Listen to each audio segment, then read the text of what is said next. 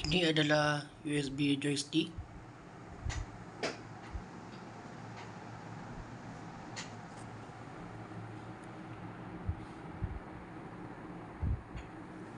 Sambung pada Raspberry Pi.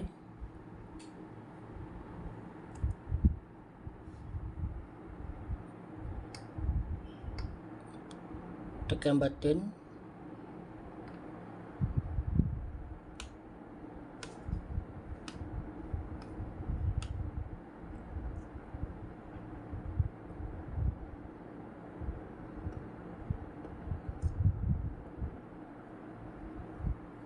kawal joystick ke kiri minimum ke kanan maksimum ke depan minimum ke belakang maksimum button.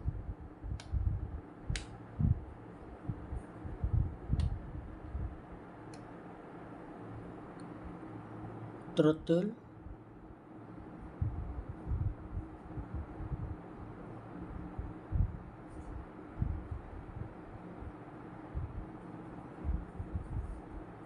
Maximum